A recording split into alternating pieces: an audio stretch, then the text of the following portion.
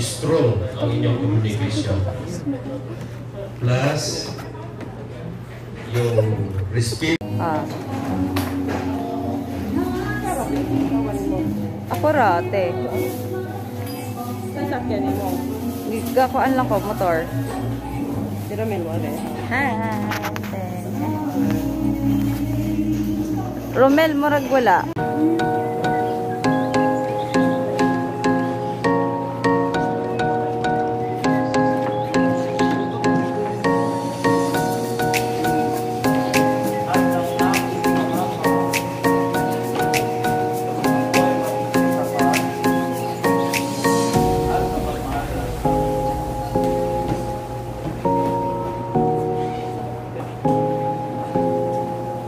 He says that.